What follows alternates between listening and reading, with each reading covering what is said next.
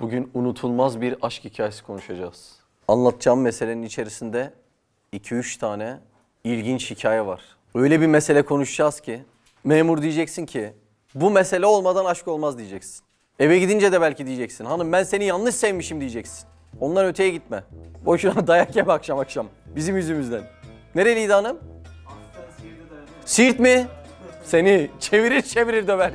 Yere düşmezsin yere. Yapma. Salih abi senin hanım nereliydi? İmamoğlu mu? Adana. Seninki Sator'la döver seni. Muhammed senin hanım nereliydi? Diyarbakır mı? Sen var ya başına Sator yersin ya. Turgay abi senin hanım nereli? Trabzon mu? Ya biz bugün Mazlumlar Ligi kurmuşuz ya. Evet, şimdi Allah Azze ve Celle bize sonsuz bir sevme kabiliyeti vermiş. Biz de bunu geçici şeylere sarf ettiğimiz için üzülüyoruz. En büyük olay burası çünkü bu olayda hatırası olmayan hiç kimse yoktur. Ya bizzat kendiniz hatırasınızdır, ergenlik dönemlerinizde, gençlik dönemlerinizde ciddi acılarla, ızdıraplarla kıvranmışsınızdır. Ya da sürekli etrafınızdaki insanlara bir hal anlatmaya çalışırken onların sürekli bu acı ve bu ızdırapta kıvrandığını göreceksinizdir. Şimdi sonsuz bir sevme kabiliyetinden dolayı bu ızdırabı çekiyorum ve şöyle bir şey soralım. Sonsuz sevmeyi bana verende mi suç? Yoksa bu sonsuz sevmeyi düzgün kullanmayanda mı suç? Düzgün kullanmayanda değil mi? Şimdi bir hoca sınav yapsa o sınavı yapan hoca mı suçludur? Yoksa sınava çalışmayıp yanlış şıklara düşen öğrenci mi suçludur? Öğrenci suçludur değil mi Salih Baba? Şimdi bu sonsuz sevmeyi yanlış kullanma olayını biz şu cihette yanlış kullanıyoruz. Hani mesela bir insan haram manada neyi sever? Bir insanı sever, bir dostunu sever, bir malı sever, kendini sever, ömrünü sever. Bunların hepsi haram muhabbetlerdir. Şimdi biz bu noktalarda yanlış bir sevgiye düştüğümüzde sadece canımızın yandığını zannediyoruz. Öyle değil. Bu ne kadar önemli bir mesele biliyor musun? Senin o yanlış muhabbetin putlaşırsa Allah bunu şirk sayıyor. Bakın nasıl bir şey biliyor musunuz şirk? Mesela bizim bildiğimiz en ciddi günahlardan birisi kul hakkıdır. Şimdi mesela kul hakkında diyelim ki Sinan ben senin kalbini kırdım. Bir gün kapının önüne geldim, uzattım sana araba anahtarı. Ya Sinan seni kırdım ama özür diliyorum. Bu Bugatti'yi de sana hediye aldım. O hediyeye binaen değil mi? Belki barışırsın. Şimdi ben sürekli sana gıyabında dua etsem etsem etsem ahirette görsen belki bunun affı olur. Dersin ya Rab ben helal ettim. Şirk öyle bir şey değil işte. Şirkin gözler kapandıktan sonra tamiri mümkün değil. Yani kul hakkının bile bir cihette tamiri mümkün. Yanlış muhabbetten dolayı bir insan şirke düşse bunun tamiri mümkün değil. Şimdi benim Allah'tan başkasını haşa Allah gibi sevmem, Allah gibi muhabbet etmem nasıl şirkse Allah'tan başkasından da haşa Allah gibi korkmam da aynı şekilde şirktir. Yani biz bu dersi ciddi manada düşünmemiz lazım. Gözler kapandıktan sonra bu dersi bilmenin ve anlamanın bir önemi yok.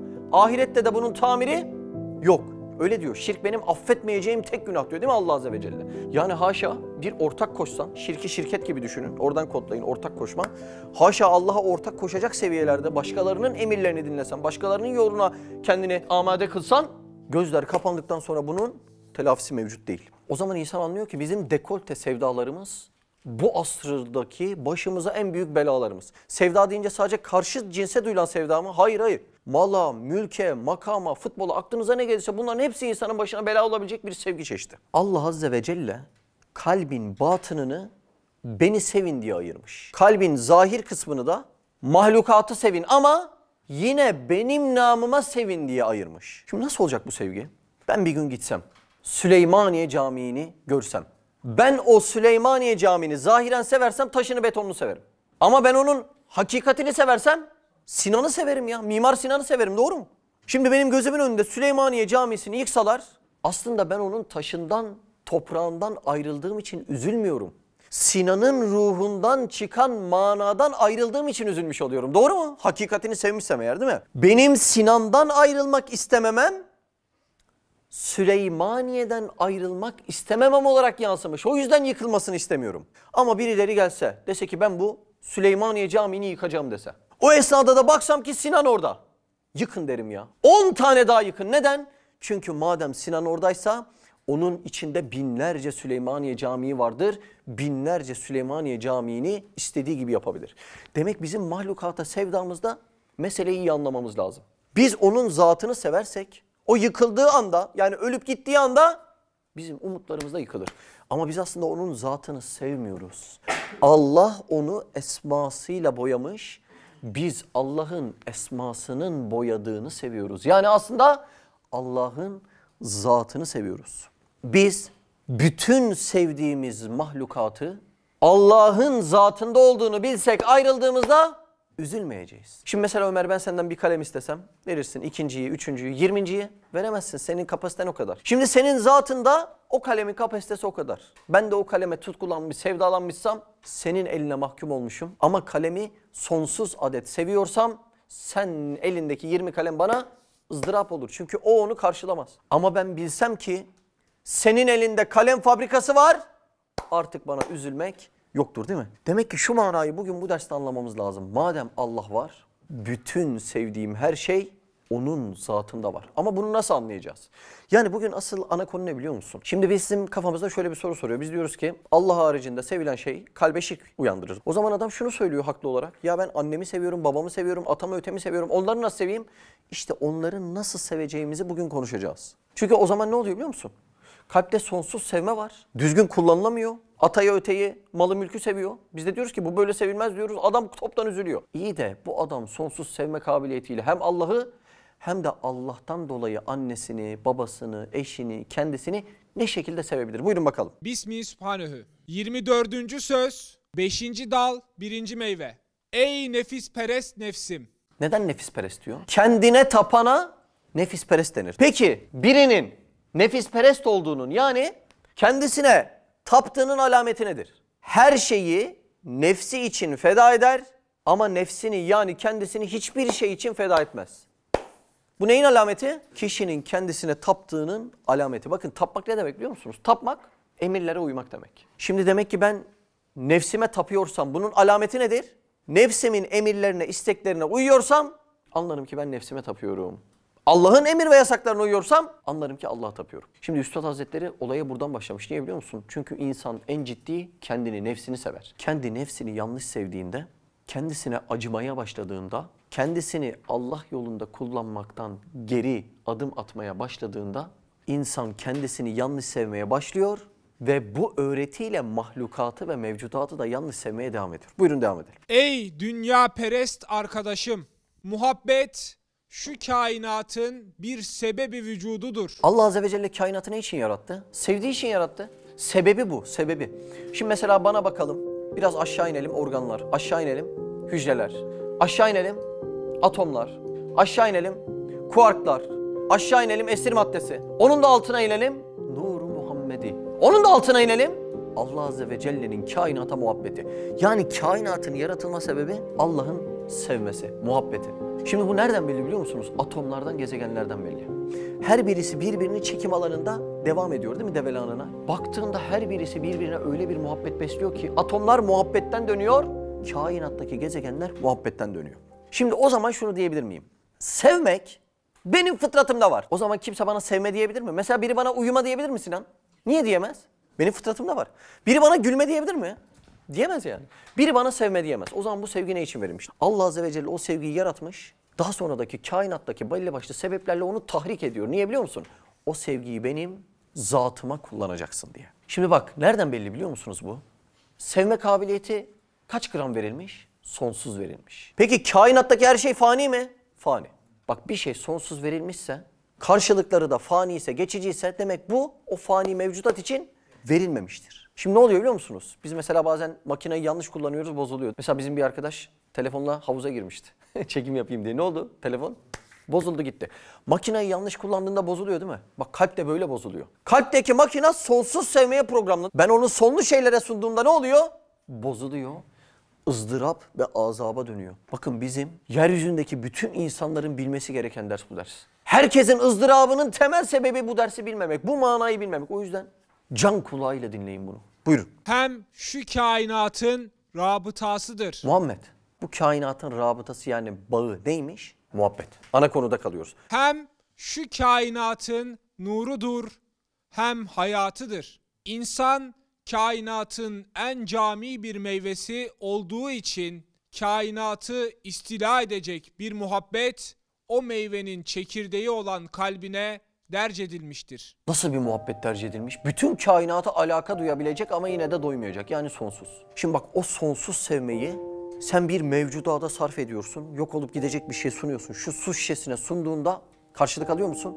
Sonra ne oluyorsun biliyor musun? Telef oluyorsun, telef oluyorsun. Bu mana anlaşılmayınca ne oluyor biliyor musunuz? İnsanlar bu işi Allah herkesi muhafaza etsin. intihara kadar götürüyor değil mi? Çok duyuyoruz. Özellikle bizim bölgedeki insanlar, kanı hızlı akan insanlar. Adam kafasına basmış. Ne olmuş? Karşılığını alamamış. Tutmuş birisini vurmuş. Ne olmuş? Karşılığını alamamış. Tutmuş birisine kıymet zulmetmiş. Ne olmuş? Karşılığını alamamış. Şimdi 600 yıllık çınar vardı Bursa'da. Ben koskocaman çınarı bir damla suyla sulamaya kalksam ne olur o çınar?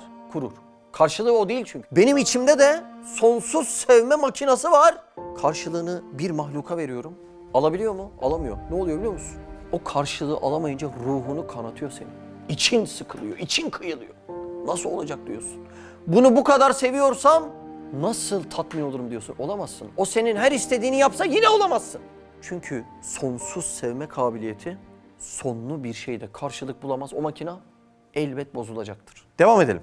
İşte şöyle nihayetsiz bir muhabbete layık olacak, nihayetsiz bir kemal sahibi olabilir. Sonsuz bir zata sevgimi sunacağım nereden belli? Mesela babam bana para verse, dışarı gönderse, ben de yolda unutsam ne alacağımı.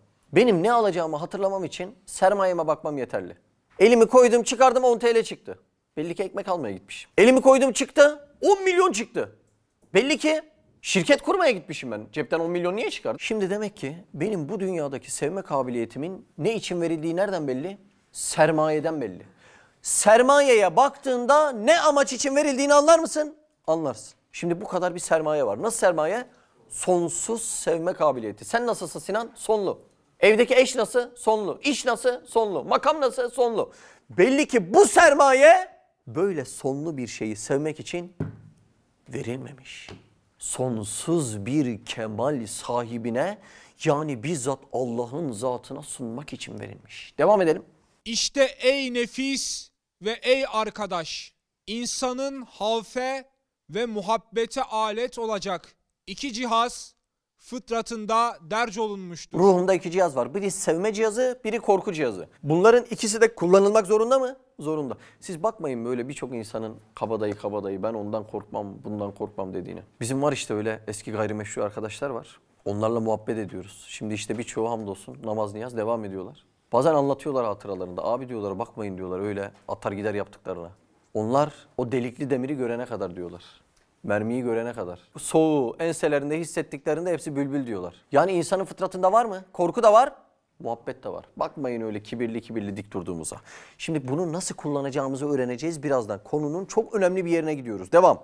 Ala külli hal o muhabbet ve havf ya halka veya halıka müteveccih olacak. Burada halka derken insanlara değil, yaratılmış her şey. Halk. Ya ona sunacaksın, bela olacak. Ya Allah'a sunacaksın, nimet olacak. Bakalım, evet. Halbuki halktan haf ise elim bir beliyedir. Halka muhabbet dahi belalı bir musibettir. Bak şimdi dersin en önemli yerine geldik. Bugün bu dersi bu mesele için yaptım Cihat. Bir şeyi bizzat sevmek beladır. Anneni bizzat sevmek nedir Uğur? Beladır. Ciddi bir iddia. Muhammed senin eşini bizzat sevmen nedir? Beladır. O yüzden belalım diyorsun eşine değil mi? Şimdi bak bunu birine söyle anlamaz ya. O zaman şu soruyu sormamız lazım. İyi de nasıl sevelim? Şimdi sen beni sevmiyor musun? Ben de seni seviyorum. Ama bizzat seversen bela diyor. Ben parmaklarımı seviyorum. Siz seviyor musunuz? Ama diyor ki bak bunu bizzat seversen parmakların sana bela olur diyor. Şimdi arada atlıyoruz arabaya gidiyoruz yeşilliklere. Sevmiyor muyuz? Ama diyor ki bizzat seversen beladır. Şimdi bizim Ömer tantuni yapıyor. Sevmiyor muyuz? Asker espri yapıyor. Sevmiyor muyuz? Seviyoruz. Diyor ki bak bunları bizzat seversen beladır. İyi de nasıl seveyim arkadaş? İşte konunun kopacağı yer burası. Çünkü bizim dersleri bazen dinleyenler diyor ya nasıl seveceğim iyi de bunu onu sevme bunu sevme falan. Hayır ama bunun bir yolu var. Nasıl seveceğim? Öncelikle bak Allah nasıl istiyor bir cümleyle onu anlatalım. Allah Azze ve Celle beni sevin demiyor. Yalnız beni sevin diyor. Allah bana kulluk edin demiyor. Yalnız bana kulluk edin diyor. İşler iyice karıştı. Ya arkadaş bizzat Allah'ı sevmek ne demek yani? Ben başka bir şeyi bizzat sevdiğimde ne olacak? İddiaya göre bela olacak, musibet olacak sana. Şimdi başka şeyler nasıl sevilir? O konuya girelim mi? Güneş ay metaforu. Biz güneşi bizzat zatından dolayı seviyoruz. Çünkü ısıyı da o veriyor, ışığı da o veriyor. Ama biz ayı güneşten dolayı seviyoruz. Çünkü ayda gördüğün ışığı güneş yansıtıyor. Güneş olmasa aydan haberiniz olur muydu? Şimdi Murat gece vakti gittik. Orada parlayan bir şey var gökyüzünde. Neden parlıyor Murat? Güneşten dolayı parlıyor. Murat güneş olmasa aydan haberin olur mu? Aydan haberim olmayacak. Bak Murat biz demek ki aslında ayı sevmiyoruz. Ayda gördüğümüz güneşi seviyoruz. Biz aslında güneşi seviyoruz ama o güneşi ayda gördüğümüzden dolayı ayı sevdiğimizi zannediyoruz Sinan. Sonra batıp gidince ay ne oluyor? Üzülüyoruz. Buradan aydan murat ne biliyor musun Necdet? Bizim gençliğimiz ay. Batıp gidiyor mu? Servetimiz, sevdiklerimiz, gücümüz, kuvvetimiz bunların hepsi ay mı? Hepsi ay. Bunların güzellik kendinde mi? Hayır güneşten geliyor ışıkları. Sonra bunlar batınca ne oluyoruz? Yıkılıyoruz. Şimdi bakın biz aslında eşyayı sevmiyoruz. Eşyayı nasıl görebiliyoruz? Allah'ın nurundan dolayı görebiliyoruz. Demek ki biz aslında eşyayı sevmiyoruz, Allah'ı seviyoruz ama eşyanın güzelliğini gördüğümüzden o güzelliği eşyadan zannettiğimizden eşyada takılıp kalıyoruz. Yoksa o güzellik nereden? Allah'ın zatından geliyor. Demek biz bu mevcudatı, anamızı, atamızı, ötemizi sevmiyoruz. Onlarda gördüğümüz Allah'ın esma boyalarını seviyoruz. Yeryüzünde sürekli parıltılar görüyoruz değil mi? Mesela yoncada sarı görüyoruz, gülde kırmızı görüyoruz, karpuzda yeşil görüyoruz. Bunların hepsi parıltı mı? Parıltı. Bazen denize gittiğinde de o su damlacıkların üzerinde parıltı görüyor musun? Görüyorsun. Onların hepsi neyin parıltısı? Güneşin parıltısı. Aslında o parıltılar ne biliyor musun Ömer? Her birisi bir işaret. Neye işaret ediyor? Güneşe. Yani yeryüzünde gördüğün ışık gülü, papatyayı göstermekten çok güneşin kendisini göstermek için vardır. Yunus biz arabada gidiyoruz yolda. Yolda da işaretler var. Biz işarete mi gidiyoruz? Hayır, işaretin gösterdiği yere gidiyoruz. İşte mahlukatın üzerinde gördüğün güzellikler bir işaret tabelası. Ne diyor biliyor musun Salih? Bak bendeki güzellikler Allah'ın zatından geliyor diyor. Ama biz bazen virajı dönemeyip işaret tabelasına giriyoruz. Ne oluyor? Dekolte bir sevdaya aşık oluyoruz. Tabelaya kafanı vursan yarılır mı? E o da kalbin yarılıyor işte. Ayın ışığı kendinden değil. Onu seversen karanlıkta kalırsın. Ama güneşin ışığı kendinden, zatından ona karanlık yoktur. O hep aydınlık. Mevcudat ay gibi. Işığını güneşten alıyor. Onu sevdiğin anda karanlıkta kalıp yıkılıyorsun. ızdırap çekiyorsun. Ama onların her birisinin işaret ettiği güneşi görsen güneşin aydınlığı bizzat kendinden karanlıkta kalma ihtimalin yoktur. Demek ki biz mevcudatı Allah namına böyle seveceğiz. Bizzat onu sevdiğinde, bizzat papatyayı sevdiğinde, papatyanın üzerindeki sarıyı, ışığı sevdiğinde sönüyor gidiyor. Zannediyorsun ki bütün ışıklar sönmüş. Öyle değil. O ışıkların geldiği yeri bulduğunda sana artık küsen, sönen bir papatya yoktur. Şimdi sen bana baktığında ben bir arkadaşınım seni. Seviyor musun beni? Zatımlığı sevmiyor musun Süleyman? Bende gördüğün esma boyalarını yani Allah'ın zatını seviyormuşsun ya. Şimdi bak gençliğin en büyük belası şehvet. Ve bu şehvet nerede biliyor musun? Her yerde reklam reklam. Telefonu eline alıyorsun, gazeteyi eline alıyorsun. Yanından insan geçiyor. Mesela Ramazan'da bir nefes alıyorsun, Ramazan bir bitiyor. Ekmek almaya çıktığında bile başın belaya girebilir. Sen de fıtraten bir muhabbetin var. Mesela bir erkek lise çağında serviste arkadaşlarıyla eve giderken bakıyor bir yabancı şarkıcı kadın görüyor. Vuruluyor. Şimdi bizzat dünyaya bakan bir mesele anlatıyorum. Baktın bir muhabbet besliyorsun ona. Tutamıyorsun yani nefsi bir şey hissediyorsun. Şimdi dünyada o güzelliğe kavuşsan 10 dakika 15 dakika. Yani bunun ötesi yok. Taptığınız gibi bir ilah değil bu hadiseler. Şimdi Sinan sen geliyorsun buraya çok sevdin beni. 10 milyon doları bırakacaksın bana. Ben de cebinden 10 TL çalmaya çalışıyorum. Vurur musun tokadı? Ya arkadaş biraz akıllı ol ya biraz. Şimdi olduğu insansın baktın etkilendin. Onda gördüğün ne güzellik var? Ne varsa. Yanağını mı beğendin, kaşını mı, gözünü mü, umut. Yani bir insanın meylettiği, hayaline girdiği bir haramı düşün. Ya biraz akıllı olsan, o harama bakmasan diyeceksin ki ya benim orada nefsimi çeken ne varsa Allah'ın zatında hepsini yaratma kudreti var. Ben onu bir razı etsem, o cennete bir adım atsam ya sayısız var bak neyi seviyorsan. Neyse yani. Üstad bir yerde diyor ki ben aklımla nefsimi susturdum. Ya diyeceksin ki ahmak sus. Dünyada alacağın lezzet belli. İnsan bu meseleyi anlasa bir de o kalp şirke girmemişse ne diyecek biliyor musun bak? Allah'ım sen vereceksin bana. Şimdi dedesinden kalacak mirası bekleyen adam. Bunu beklemez mi ya? Ya etkilendiğin gözüne hayaline giren ne var? Allah hepsini yaratabiliyor. Ki yaratmış. Hem de daha güzelini yaratıyor. Ne kadar yaratıyor Turgay abi? Sayısız ya. Şimdi gözünü açtın sıratı geçtin. Ya okudum ben senden razıyım dedi mi? Ya arkadaş bak neyse o. Çok büyük bir iddia bak Salih. Allah diyor ki ya bunların hepsi benim hazinemde. Dünyada o nefsini gıdıklayan bir şeyin lezzeti biter. Bunun lezzeti de bitmez. Salih iddiaya bak. Ya biraz akıl olsa bir insanda, biraz akıl olsa meyleder mi başka bir şeye? Bir dişini sıksan helalde. Ya yaratanı o, yaratanı. Şimdi o yüzden biz orada aya takılıyoruz. Ya takılma ya, takılma. O ayda gördüğün güzellik var ya, ayın kendinden değil. Sen orada asıl güneşteki güzelliği seviyorsun. Çünkü ışığı veren Murat, güneş. Bırak eskiyecek, bitecek, eksilecek o güzellikler. Ya bir genç bu nazarla baksa aleme nasıl dişini sıkar değil mi? Allah Allah mükafata bak. Baktın şunu gördün. Ay kaş gözü ne güzel. Ya o kaş gözü esma boyası. Nasıl bilgisayarda giriyorsun kodları duvar oluyor. Giriyorsun göz oluyor, giriyorsun kaş oluyor, saç oluyor değil mi? Kod yazıyorsun. Aynı o şekilde esma kodları yazıyor, kaş göz oluyor. Ya o senin sevdiğin şey Allah'ın esma tecellisi o. Ya şu manayı bir anlasan. Buyurun devam edelim. Çünkü sen öylelerden korkarsın ki sana merhamet etmez veya senin istirhamını kabul etmez. Şu halde havf elin bir beladır. Muhabbet ise sevdiğin şey ya seni tanımaz, Allah'a ısmarladık demeyip gider. Öyle oluyor değil mi? Gençlik. Gidiyor değil mi? Saçlar öyle olmuyor mu Muhammed? Çat diye gidiyor. Halbuki seviyoruz hepsini. Hiç selam verdiği yok yani. Evet. Gençliğin ve malın gibi. Ya muhabbetin için seni tahkir eder. Sen sevdiğinde süründürür seni. Evet. Görmüyor musun ki Şu cümleye bir dikkat eder misiniz? Kalbiniz aynı cümleyi söylemiyor mu? Bir dikkat eder misiniz? Evet. Görmüyor musun ki mecazi aşklarda yüzde 99'u maşukundan şikayet eder. Yani ayı sevmek mecazi aşk. Güneşsiz ayı sevmek. Bakın istisnasız her gün. Her gün. Ya işte bir mahallede yürürken, arabayla bir yere giderken, bir alışveriş yapacak için bir yere dururken. Yeter diye çığlık duyuyorum. Şaka gibi değil mi? Bakın tevafuk belki inanmayacaksınız. Şu dersi hazırlarken dedim şöyle bir hava alayım, turlayayım dedim. İşte bir camın önüne geçtim. Bir nefes alayım dedim. 10 dakika yeter diye çığlık duydum biliyor musunuz? Yeter. Sinan o çığlık nereden geliyor biliyor musun? Mecaz aşklar yeter diyor. Mecaz aşklar. Allahsız sevmeler yeter diye çığlık. Niye? Çünkü sen bir şeyleri umdun. Bulabildin mi? Bulamadın. Fıtrat dayanamıyor. Ne yapıyor? Yeter diye çığlıklar atıyor bak. Şimdi demek dünya üzerindeki sevmeler ne için biliyor musun?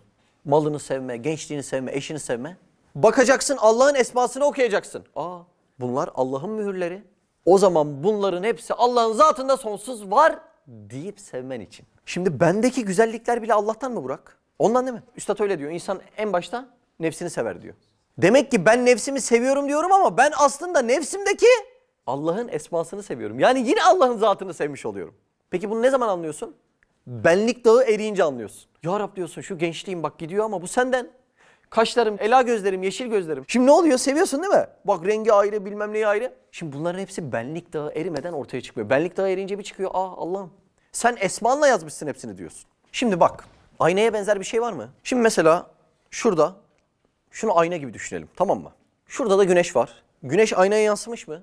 Yansımış. Aynada gördüğüm parıltılar kime ait? Güneşe ait. Şimdi ben aynadaki ışığı aynadan bilsem.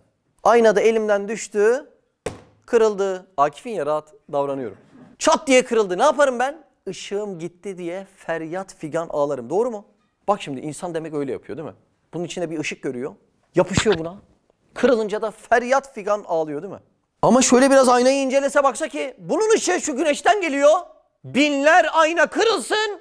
Güneş orada baki.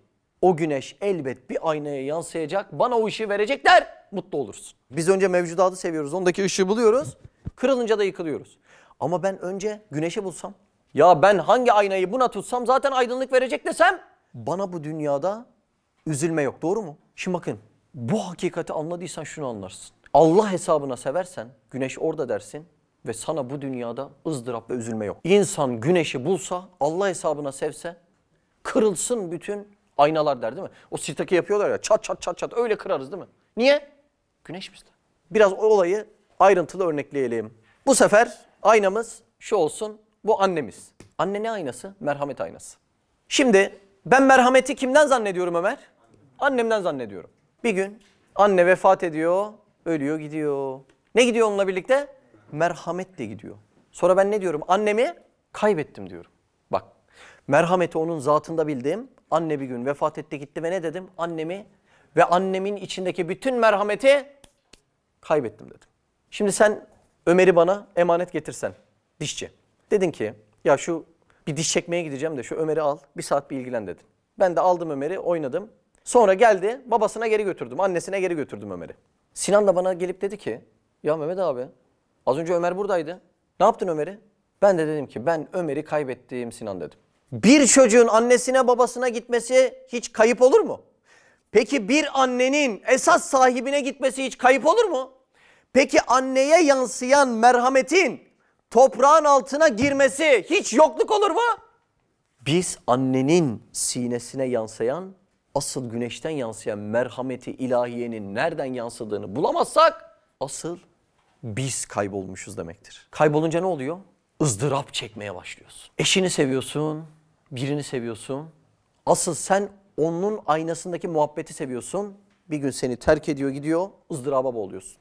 Burada ince bir şey söyleyeyim mi? O ızdırap neyden biliyor musun? Rahmetten, rahmetten. Şimdi ayna kırıldığında ben ızdırap duyuyorum ya Ömer. Niye rahmetten biliyor musun? Allah şöyle bir rahmet ediyor. Sana ızdırap veriyorum. Sebebi de şu. Sen sahte sevdalara kanma. Onlar gittiğinde ızdırap duy ki gerçek kalıcı sevdayı güneşi bul diye bana ızdırap veriyor. Yani bir insanın dekolte sevdalarından ayrıldığında ızdırap duyması neyden dolayı? Rahmetten dolayı. Eğer ızdırap vermese ben o sahte sevdalara kanıp gideceğim. Ayı seveceğim ama güneşi asla bulamayacağım. Çünkü Samet aynesi olan batını kalp ile sanem misal... Bir dakika, bir dakika, bir dakika. Burada bir kelime daha var. Nedir o kelime? Samet. Ne demek Samet Şimşek? Ya değil mi? Şimdi herkes ona muhtaç ama o hiçbir şeye muhtaç değil. Buna Samet diyoruz değil mi? İnsanın kalbi öyle bir şeye muhtaç ki o hiçbir şeye muhtaç olmaz. Bakın Risale-i Nur'da bir cümle geçiyor. Nedir biliyor musun Umut? Kalp aynayı Samet diyor. Senin kalbin ayna mı? Ayna. Neye ayna? Sonsuza. İşte onu anlatıyor. Diyor ki o sonsuzun ismini yazayım diyor. Samede ayna diyor. Bu ne demek biliyor musun Türkçesi? Kalp öyle bir şeye muhtaç ki o muhtaç olduğu hiçbir şeye muhtaç olmaz. Niye? Çünkü sonsuz ihtiyacın var. Sana muhtaçsam hepsini karşılayacaksın anladın mı? Şimdi bütün organlar nasıl kalbe muhtaç? Kalp çalışmazsa hiçbiri çalışamaz. Kalp de öyle bir sonsuz samede muhtaç ama muhtaç olduğu hiçbir şeye muhtaç olmamalı. Çünkü ben sana muhtacım Sinan. E sen de başka şeye muhtaçsın. Sen beni nasıl tatmin edeceksin? Doğru mu? Demek ki hiçbir şeye muhtaç olmayan bir zat ancak beni tatmin edebilir. Bir doktorun bir hatırası var. Beni çok etkiledi. Bu kalbin derinliklerini diyoruz yani orada Samet'e muhtaç. Bununla ilgili bir hatırası var bir doktorun. Şimdi insan bir dış ortama girdiğinde içindeki şeyleri çıkarmaz. Dış ortama göre davranır değil mi? Mesela bir yemek davetine gittin, resmi davranırsın. Arkadaş ortamındasındır. Çekirdek çitler biraz daha samimi olursun ama içindekini tamamen çıkarmazsın. Şimdi doktorun biri anlatıyor. Diyor ki bana diyor ameliyata gelen adamlar diyor ve bunun içerisinde din adamları da var diyor. Narkozu yedikten sonra içlerinden öyle cümleler çıktı ki diyor ben korkudan düşüp bayılacaktım diyor. Şirk tazammu neden ifadeler çıktı işlerinden diyor. Şimdi diyor ben kendimden korktum diyor bu doktor. Çünkü ben de Allah diyorum, ben de namaz diyorum, ben de peygamber diyorum. Ama içimden ne çıkacağını anlamadım diyor. Arkadaşlarına rica etmiş demiş ki beni narkoza yatırın. Çünkü ben şu an irade kullanıyorum ve size içimdeki gerçek şeyleri çıkarmıyorum. Kabirde sekeratta kullanabilecek misin o iradeyi? Kullanamayacaksın. Diyor ki sekeratta içimden ne çıkacaksa şimdi çıksın diyor. Diyor bana narkozu verin diyor beni kameraya çekin diyor. Yapmış arkadaşlarına. Arkadaşları vermiş narkozu çekmiş kameraya. Adam narkozun etkisinden çıkarken başlamış söylemeye. Ne çıkmış biliyor musun içinden? Aldığı Risale-i Nur dersleri çıkmış. İzleyince kameradan izletmişler demişler ki elhamdülillah. Demiş ki kalp aynayı Samet'te o zaman demiş. Şu aldığınız derslerin önemini kıymetini anlıyor musunuz? İrade ortadan kalkınca içinden ne çıkıyorsa sen olsun demek. Şimdi bakın biz bu manayı anlayamıyoruz. Şöyle söyleyeyim belki daha iyi anlarız. Hazreti Ömer nasıl bir zat? Allah Allah nasıl bu konuşulur mu ya? Benim dinimin dörtte biri ya Hazreti Ömer. Emir el müminin değil mi? Nasıl bir zat? Cennetle müjdeli ya. Aşire-i mübeşşereden birisi. Allah Allah. Nasıl bir hayat yaşamış? Bakın ben şöyle bir şey anlatayım size. Efendimiz Aleyhisselatü Vesselam'ın sır katibi var. Huzeyfetül Yemani. Bir gün münafıkların listesi gelince Efendimiz Aleyhisselam Huzeyfetül Yemani ile paylaşıyor. Hazreti Ömer de bunu görüyor. Huzeyfetül Yemani'nin peşinden ayrılmıyor. Ya Huzeyfe söyle o listede ben var mıyım? Söyleyemem ya Ömer diyor. Şimdi söyleyememesinden daha garip bir şey var. Ey Ömer sen cennetle müjdelisin. Kendilerini nasıl bilmişler ya? En içerideki noktaya kadar nasıl emin olmak istemişler görüyor musun? Söyle ya Huzeyfe o listede ben var mıyım? En son söyle söyle söyle söyle bezdiriyor. Yok Ömer sen yoksun diyor. Sonra yine peşini bırakmıyor. Söyle diyor atadığın valilerde var mı diyor. Onda da bırakmıyor peşini. Şimdi Hazreti Ömer bu kadar cennette müjdeli ama kendinden emin değil biz. Ya bizde iman var ya biz çözdük bu işi diyoruz. Haşa. Ya biz ne kadar ahmağız ya. Kusura bakmayalım da yani. Nefsimize söylüyorum yani kendi nefsime. Ya böyle bir şey olabilir mi? Hazreti Ömer kendinden emin olmayacak ama biz kendimizden emin olacağız. Allah Allah. Şimdi biz o derinlerde Samed'i bulamadıktan sonra endişe içinde olmak zorundayız. Narkozu yediğimizde, narkozu yedin mi? Sekerata geldin mi? İçimizden ne çıkacak? Bak işin orası önemli. İçimizden Allah Azze ve Celle çıkmadıktan sonra biz bitmişiz demek. Herkes diyor dışımızda namaz, niyaz, oruç bak az önce anlatıyor işte.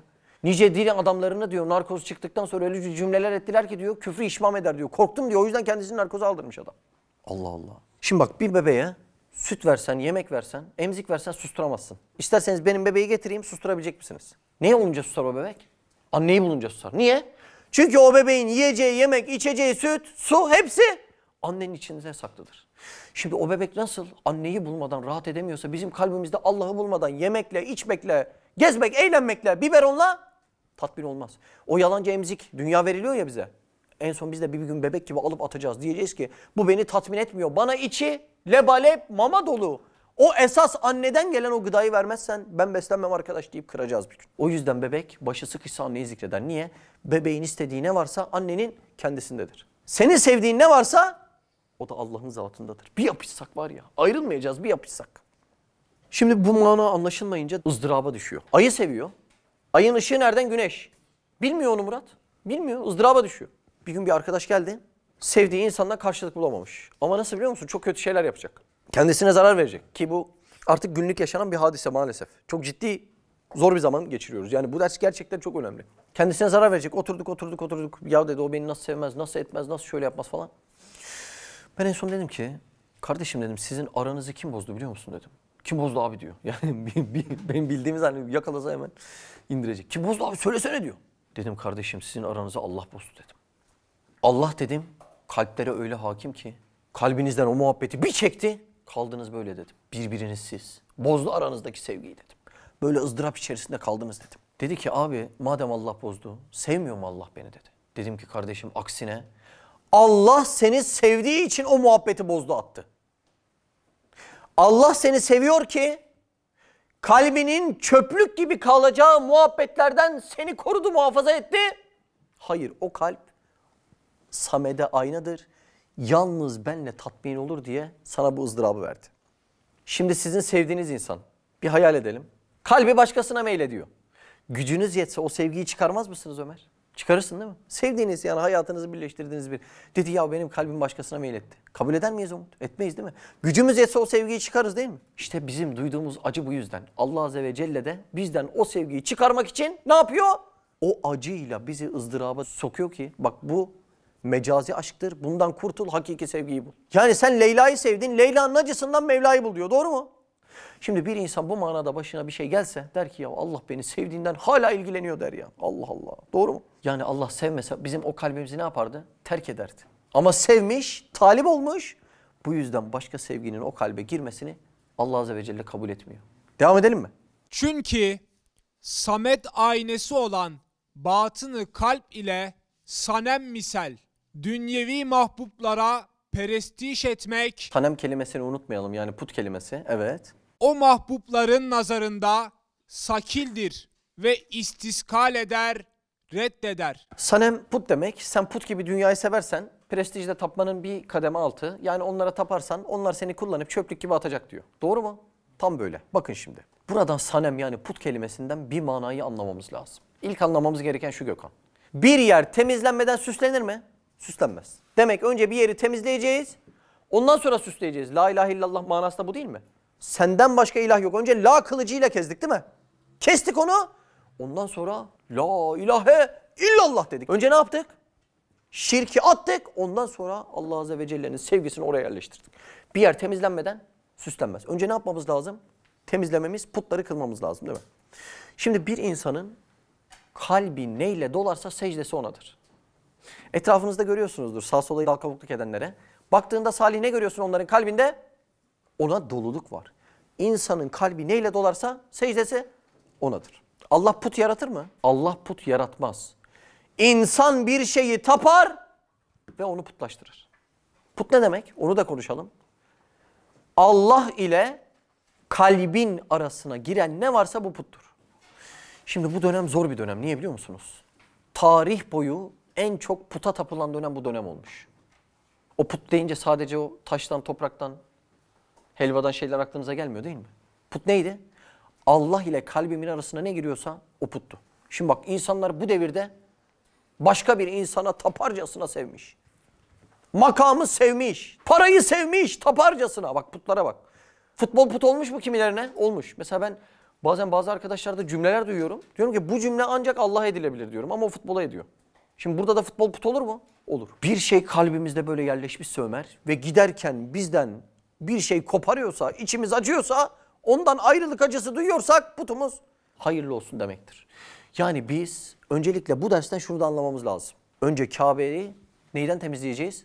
Putlardan temizlemek zorundayız. Bir yer temizlenmeden süslenmez. Buyurun devam edelim.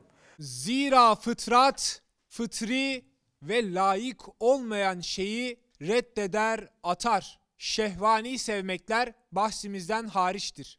Demek sevdiğin şeyler ya seni tanımıyor, ya seni tahkir ediyor, ya sana refakat etmiyor. Senin ramına müfarekat ediyor. Madem öyledir, Madem öyledir dediği nedir? Nasıldır?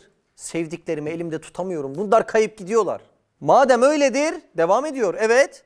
bu havf ve muhabbeti Bak ne oldu? Mevcutada sunduğum korku ve muhabbet var ya beni rezil eden onu diyor. Evet. Öyle birisine tevcih et ki Allah Allah dur arayalım bakalım. Sönmeyen bir yer bulmam lazım. Evet. senin havfın lezzetli bir tezellül olsun. Muhabbetin zilletsiz bir saadet olsun. Bak şimdi. Muhabbetin ne olsun diyor? Zilletsiz. Şimdi dışarıda birisini çok sevdiğinizi belli edin. Sizi kullanıp ezer mi? Zillet ne demek? Ezilmek demek değil mi? Şimdi ben kalbime öyle birini koyacağım ki, kalbimin oraya sultan diye oturtacağım ki, kalbimi ezmeyecek, zillete tutmayacak. Doğru mu? Ama şimdi bir sultanı sevmek varken, mesela çıktım bir sultanın huzuruna. Sultan orada bekliyor mu? Bekliyor. Görüyor mu beni? Temaşa ediyor değil mi? Gittim bir orada kapıcının elini öptüm, bir ahçının elini öptüm, bir vezirin elini öptüm. O sultan razı olur mu bundan? Sultan ben miyim onlar mı der mi demez mi? Ne yapar biliyor musun? Öptüğüm ellerle beni tokatlar. Sultanlığın gereği bu değil mi? Madem ben sultan dururken başka ellere gittin, o ellerle seni tokatlayıp ezeceğim şimdi. Doğru mu? Bakın bu anlattığım basit bir şey değil ha. Alperen, sen başka bir eli öptüğünde senin için yaratılan koca kainat anlamını yitiriyor. Kainatın amacı bu. Allah Azze ve Celle'nin zatına muhabbet duyabilmek.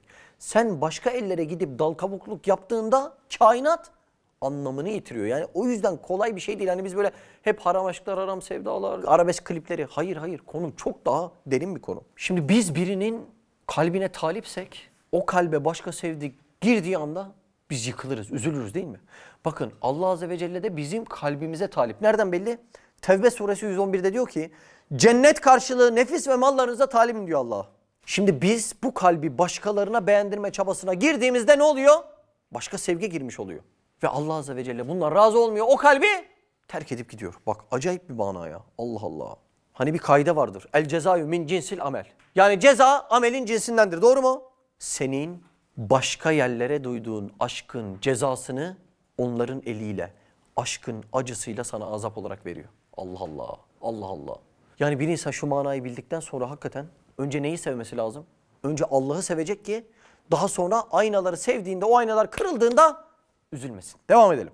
Evet, Halık Zülcelal'inden haf etmek, onun rahmetinin şefkatına yol bulup iltica etmek demektir. Havf bir kamçıdır.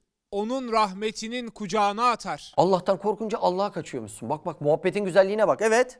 Malumdur ki bir valide mesela bir yavruyu korkutup sinesine celbediyor. Bak şimdi benden korksan benden uzaklaşırsın. Allah'tan korktuğunda Allah'ın sinesine gidiyormuşsun. Allah Allah. Çok ilginç bir değil mi? Şimdi bak. Bir anne yavrusuna hep sarılır. Doğru mu Muhammed? Ama ister ki yavru da sarılsın. O yüzden ne yapar anne? Arada korkutur. Ben zaten ona sarılacağım ama yavru da bana sarılsın diye korkutur. Neyle korkutur? O yaramaz arkadaşlarla görüşmeyeceksin der. Tokadı bir tane vurur. Çocuk da buna sarılmış olur. Yani muhabbet çift taraflı olduğunda güzel oluyor. Doğru mu? Demek anne niye korkutuyor?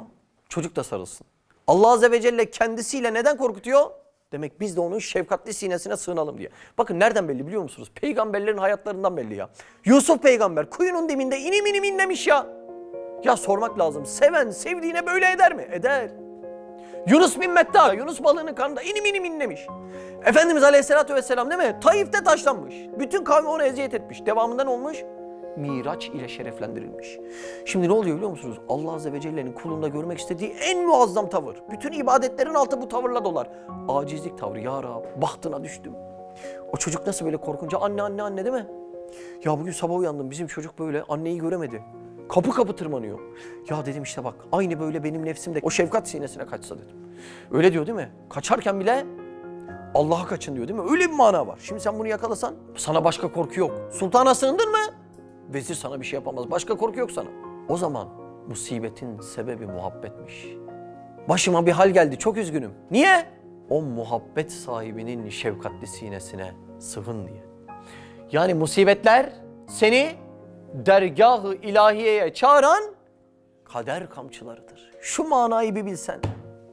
Başıma bu hal niye geldi? Belli.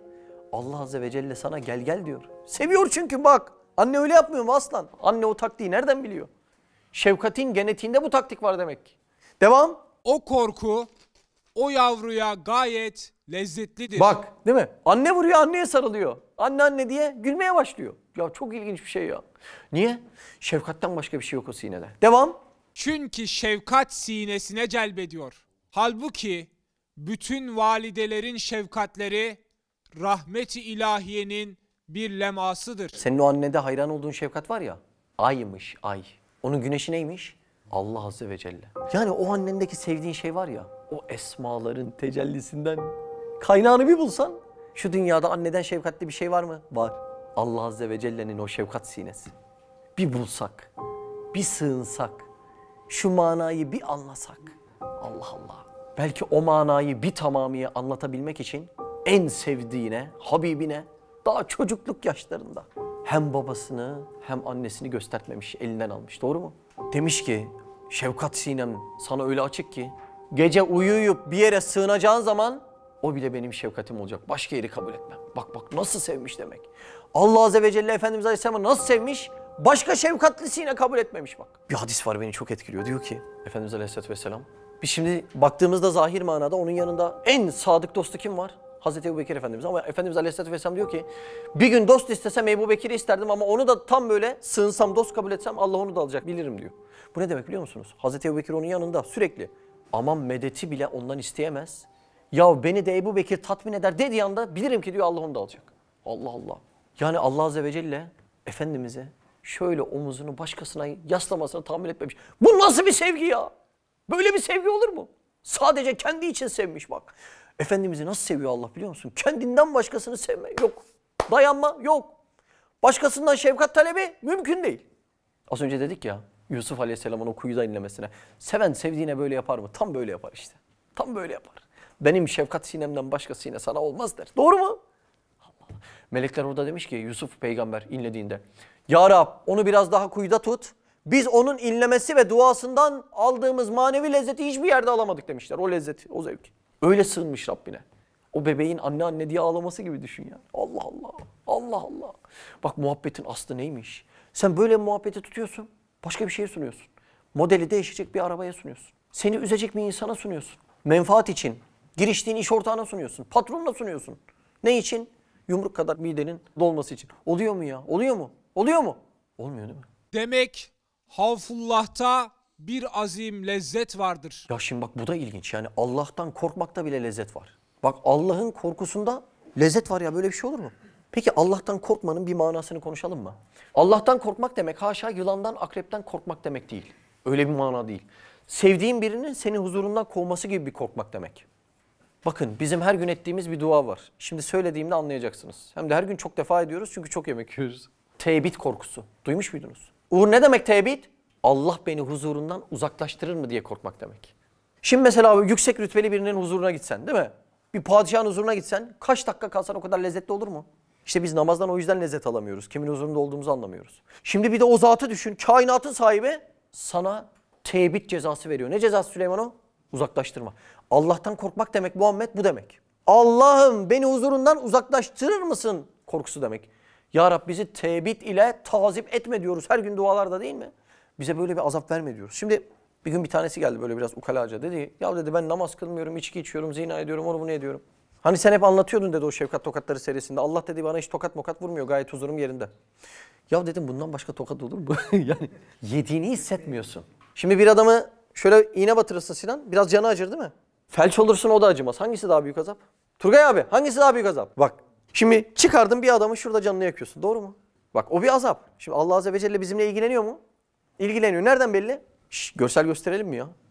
Çıkardın bir tane adamın şöyle canını yakıyorsun. Ya yapma etme. Ya tamam yapma etme de canlılığının en çok belirli olduğu yer de yara yeridir. Bak değil mi? Çat çat. Öteki adam diyor ki Bana batırıyorlar batırıyorlar ben hiçbir şey hissetmiyorum. Çünkü sen felç olmuşsun. Hangisi daha kötü? Ha? Hangisi daha kötü bir durum? Allah Allah. Olaya bak. Diyor ki bana tokat vurmuyor Allah diyor. Ya sana daha nasıl tokat vursun? Zaten tokat dediğin yakındakine atıldı değil mi? Mesela insan kendi çocuğuna şöyle bir tokat vurur değil mi? Elin çocuğuna vurur mu? Vurmaz. Demek sen o yakına girememişsin ki tokattan da bir habersin. Allah Allah. Allah Allah. Şimdi biz bazen hani denk geliyoruz ya. Ya ben namaz kılamıyorum. E ne yapıyorsun kılmak için? Alarm kurdum, uyanamadım, hastalığım var. Bunların hepsini geç. Alarm kurdum, geç. Hastalığım var, geç, geç. Ne diyeceksin biliyor musun? Ne oldu da seni huzuruna kabul etmiyor? Diğerlerin hepsine bahane. Sevse huzuruna alır bu kadar. Bir padişah, bir sultan beni sevse, dışarıda karda kışta kıyamette bırakır mı beni? Sultanlığına olur mu? Olmaz. Sevse huzuruna alırdı, sevse namazına kaldırırdı. Bir insan namaz kılmıyorsa, kılamıyorum diyorsa, bir sabah namazına nazlanarak uyanıyorsa haline yansın. Ne oluyor da Allah Azze ve Celle beni huzuruna almıyor? Allah Allah. Buyur devam edelim. Madem havfullahın böyle lezzeti bulunsa, muhabbetullah'ta ne kadar nihayetsiz lezzet bulunduğu malum olur. Yani Allah'tan korkmanın lezzeti buysa Burak, muhabbetullah'taki lezzeti sen düşün. Bu arada muhabbetullah demek sadece benim Allah'ı sevmem demek değil. Allah beni sevdiği için ben Allah'ı sevebiliyorum. Bu çok ilginç bir şey. Mesela Turgay abi beni seviyor musun? Senin beni sevmende benim müsaade etmemin payı var. Yoksa şu an çok kötü birkaç cümleyle biter mi bu iş? Biter değil mi? Çok kötü. Seni kırıcı böyle. Akla gelmedik. Bağır açılma bir cümle etsem biter. Demek ki sen beni seviyorsan ben seni sevdiğimden müsaade ediyorum. Şimdi muhabbetullah demek çift taraflı bir olay. Sadece benim Allah'ı sevmem değil. Allah beni seviyor ki kendini de bana sevdiriyor. Nasıl mana Ömer? Devam. Hem Allah'tan havf eden başkaların kasvetli, belalı havfından kurtulur. Ya böyle bir de hediyesi var. Başka kapılarda seni kul etmiyor. Evet. Hem Allah hesabına olduğu için mahlukata ettiği muhabbet dahi firaklı, elemli olmuyor. Mahlukatı sevdiğinde muhabbet nasıl olacak? Elemli ve belalı olacak. Yeni bebeği olan var mı? Memur. Senin evde çocuk var değil mi? Bazen susmadı oluyor değil mi? Bir çocuğu susturamazsan, oyuncak verdin susmadı, mama verdin susmadı. Bir çocuğu susturamazsan ne yapacaksın? Uyutacaksın. Adam içindeki fırtınayı susturamıyor. Ne yapayım diyor? Uyutayım diyor. Neyle? İçkiyle, sefahatle. Bir çocuğu susturamıyorsan uyutacaksın değil mi? Öyle olmuyor mu?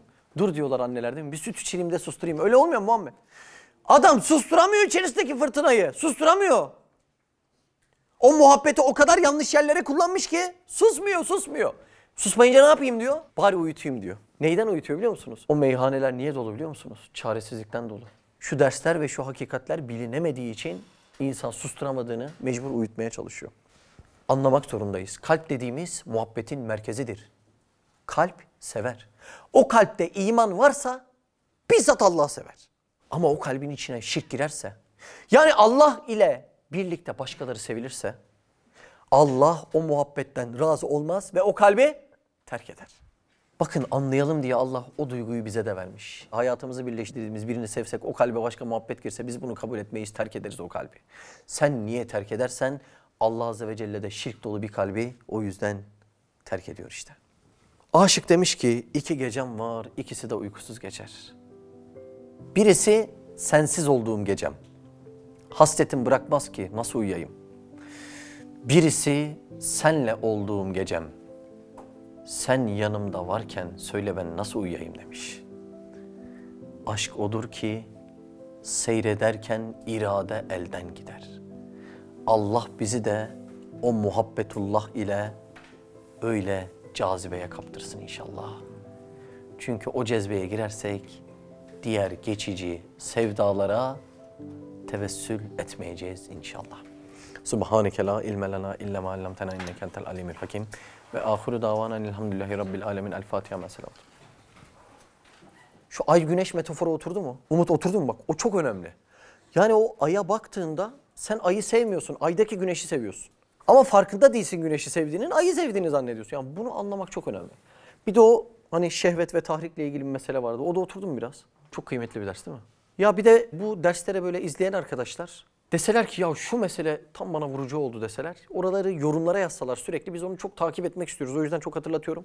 Bir de Bunları böyle beğenip paylaşsalar belki başkasına yaralı kalpli, dekolte sevdalı başkasına vesile olurlar. Bizim için çok iyi olur yani çok memnun oluruz buna. Değil mi? Böyle şeyler paylaştıkça çoğalır. Yani bunu da hatırlatmak istedim tekrar. Bir de, bir de sizler gibi bu dersleri başkalarıyla da yapabilmek için Allah Azze ve Celle bir an önce, bir an önce İstanbul'daki o medreseyi nasip etsin. Değil mi? Belki bakarsın başka dekolte sevdalardan kurtulacak insanlara da yetişiriz. Zira bu sevgi öyle bir şey ki.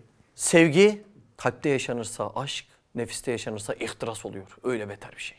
Çok insana yetişmemiz lazım. Allah bir an önce başka medreseler nasip etsin inşallah. Evet.